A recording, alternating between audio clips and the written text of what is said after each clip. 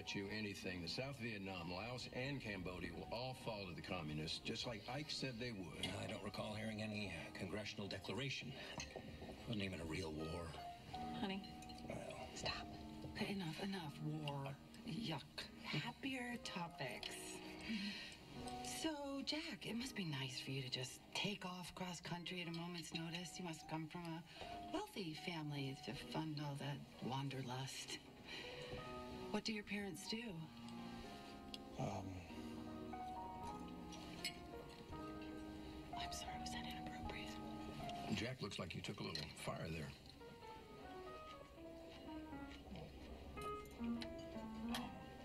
I should probably go clean this up.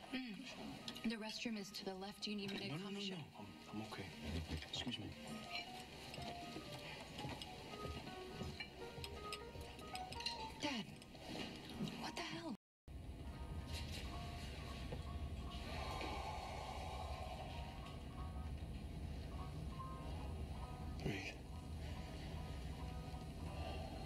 Jack.